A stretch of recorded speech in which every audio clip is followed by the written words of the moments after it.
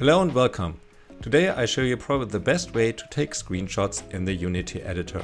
Because it's free, it's flexible, it's easy to set up and it doesn't require any coding. And it's probably very little known that this option exists. So let's hop over into Unity and see how we can set it up. Okay, the first thing that you need to do is to install the Unity Recorder package. So open the package manager. If you don't know where to find it, go to Window Package Manager. And then select the Unity registry and search for Recorder. I already have it installed, so I just have the remove button. In your case, you have the install option. Just press it, wait until it's finished, and then go to Window, General, Recorder, Recorder window. Then this recorder window pops up and then you need to add a new recorder.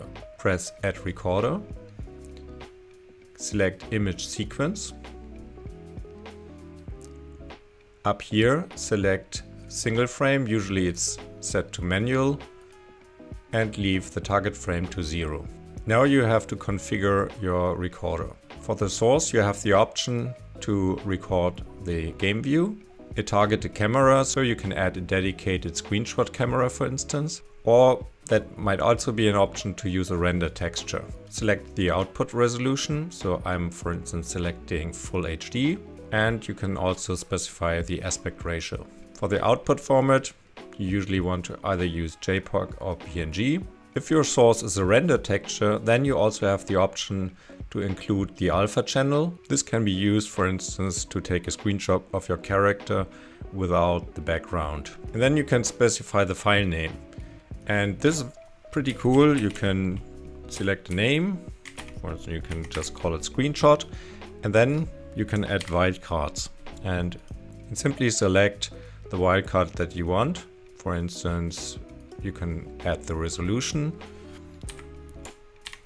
and if you want to have multiple takes, then you can add a take and you see the take number here that will increase anytime you do a screenshot.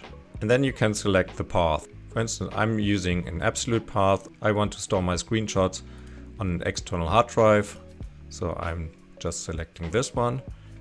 And this is all that you need to set up. Now before entering play mode, you might want to put the recorder at the side and make sure your screenshots recorder is the only active one and then go into play mode.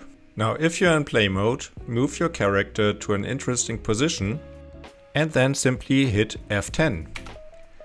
It looks like a short flash because the game window is resized to the output resolution for a single frame. And then you can check your output folder and you will see here's the screenshot. That simple. If you liked the video, give it a thumb up and consider subscribing to my channel.